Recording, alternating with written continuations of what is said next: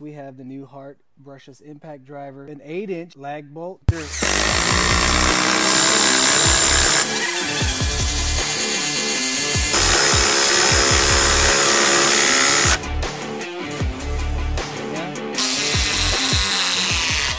Or this is the Ryobi 1 Plus HP, 2 amp hour battery. We got it on mode 3, fully charged. Yes, it is. Two,